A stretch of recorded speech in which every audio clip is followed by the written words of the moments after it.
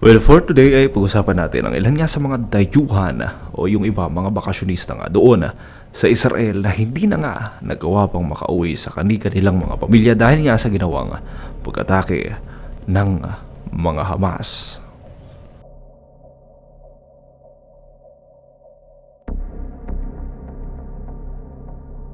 Ang Pinay nurse na si Angeline Aguirre, alam nyo, tinawag na wonderful hero ng mismong Deputy Mayor ng Jerusalem na si Fleur Hassan Nahum ang Pinay na si Angeline Aguirre dahil nga sa kanyang ipinamalas na kabayanihan.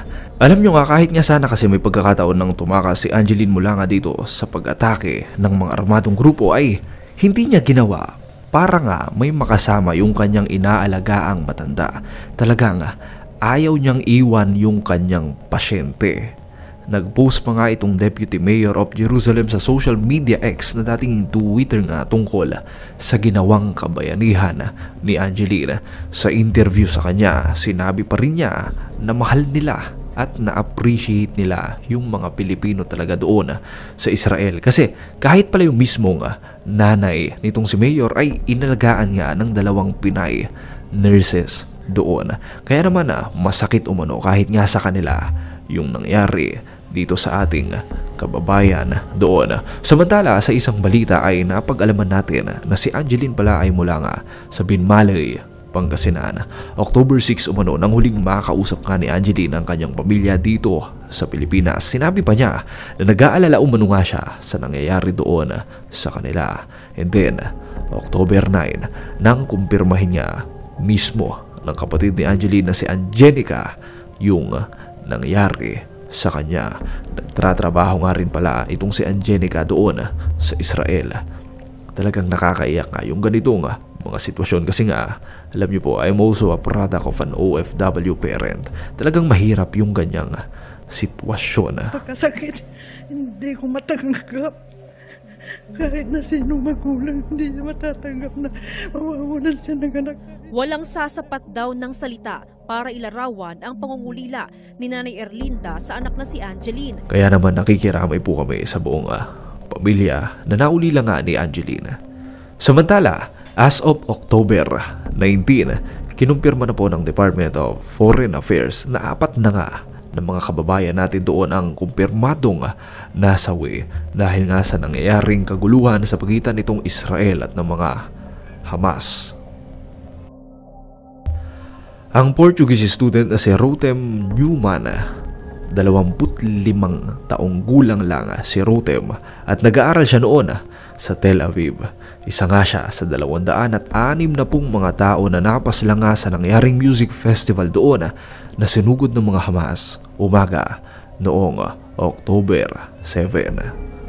Lumalabas na nagawa pa palang makaalis nila Rutem kasama nga yung kanyang mga kaibigan doon sa mismong venue ng concert nung mangyari nga yung pag-atake. Sumakay sila noon sa sasakyan at isa nga sila sa mga maswerte pang nakalabas sa venue kahit pa nga hinarang na ng mga Hamas yung mga kalsada palabas ng concert. Pero sa kasamaang palad nga ay natuntun pa rin ng mga armado yung lugar na kanilang pinagtaguan. Doon na nga sila tinapos nitong mga taong ito. Talagang uh, nakakalungkot nga kasi kung kailan nga akala nila nakatakas na sila diba at nasa safe na lugar na pero hindi pa pala. Well, di ba kasi nga kung matatandaan ninyo, noong umaga ng October 7, eh napakarami talagang mga Hamas yung umatake doon. Kaya malamang yung nangyari dito, eh yung mga nasa concert nga na Hamas, eh hindi talaga sila yung umatake dito kay Narutem. Na tiyempuhan na nahanap siguro sila ng ibang mga grupo ng Hamas. Kinumpirma naman ng Spain ang pagkamatay nga ng 19 anyos na si Maya Villalobo Sin Vani. Well, si Maya po ay may joint Spanish-Israeli nationality at nasa ilalim siya noon ng military service noong uh, mangyari nga ang naging pag-atake.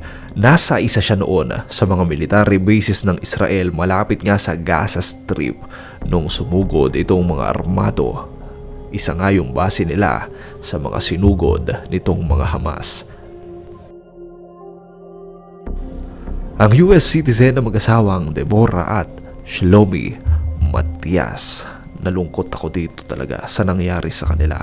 Kasi Imagine, nasa safe room na pala sila noon ng kanilang bahay.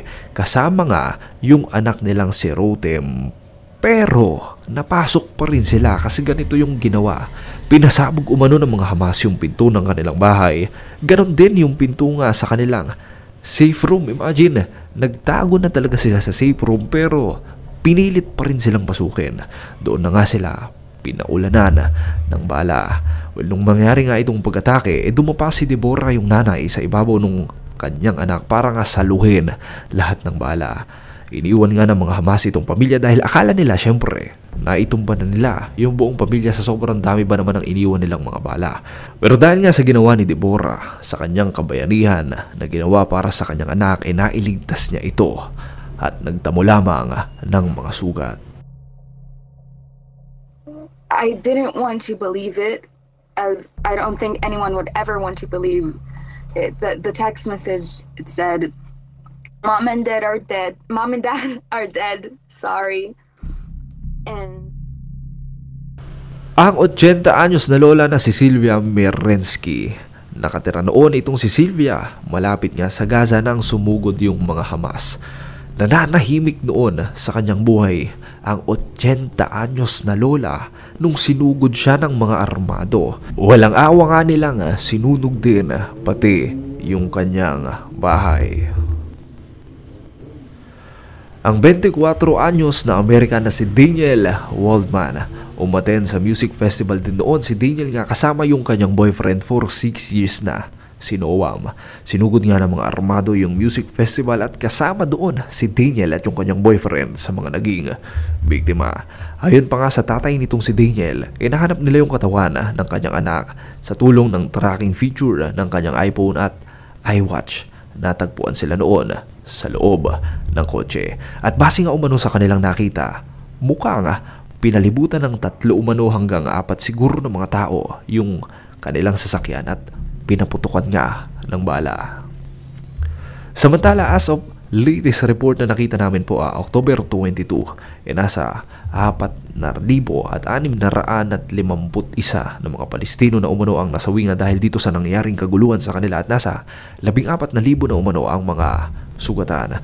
At higit 1,000 at apat na raan naman ang nasawi nga sa panig ng mga Israel dahil nga sa sorpresang naging pag-atake na ginawa sa kanila noong October 7. Well, para po sa susunod nating video ay mabuti pag-usapan natin yung panig ngayon ng iba't ibang bansa ukol dito sa usaping uh, Palestino at mga Israel.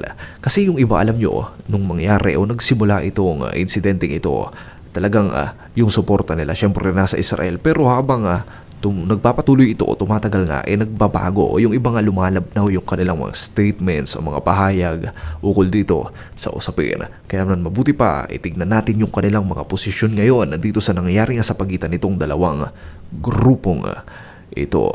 At muli ay salamat po ng marami sa inyong walang hawang pag-suporta.